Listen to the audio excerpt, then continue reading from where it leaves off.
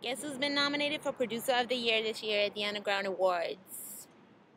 Our boys, Steff Nasty and Buggy IG, aka the, The Beat Bangers. Banggahz. And they're the shit. By the way, we are Black Buddafly. That's right. We've worked with them, recorded with them, and you know, everything. They just know how to do stuff, And not just beat makers. really, really, really deserve it. Y'all gotta make sure to vote because they're not just beat makers, like Amina said. Exactly. They are real producers. They know about vocals. They know about singers, real singers. They know how to make a record. They very It's awesome. talented, and we want to make sure that y'all give them your vote. Been definitely in the got game. our vote. For too long to not be getting this price. So make sure y'all vote.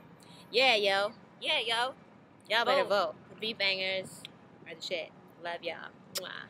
Buddafly.